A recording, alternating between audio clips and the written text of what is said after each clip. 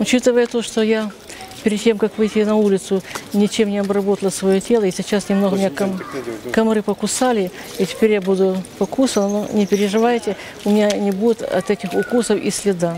Значит, первое, что я сделаю, это я возьму соду с водой и сделаю эту кашицу и нанесу на все вот эти, там, где меня комары покусали, вот нанесу вот эту кашицу.